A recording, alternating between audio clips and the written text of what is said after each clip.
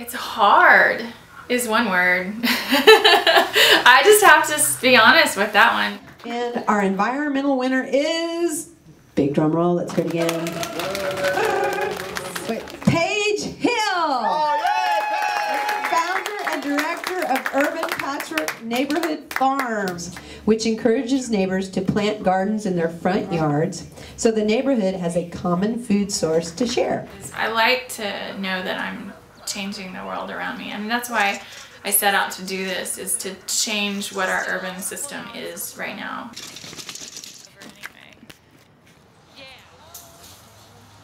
One of the major impacts that this has had for people is connecting people to each other again. That's another part of our mission is really building community. In a city, it's very easily, oddly enough, as close as we live to each other, it's very easy to be isolated.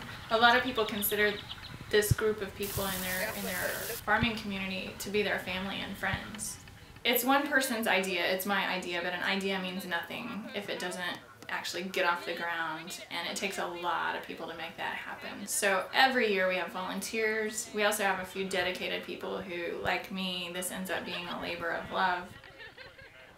Once I moved into this house, I immediately gravitated to the outdoors and started changing the landscape, growing food, you know, adding ponds, adding life to the outside because you'll never find me inside.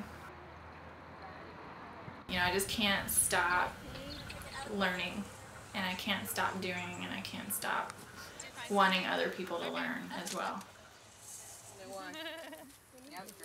It's the future. It's what we need to do to continue to be on this planet as a society, as humans. You want to plant a tree. I'm going to plant it in your mind. You want to plant a tree. It's hypnosis.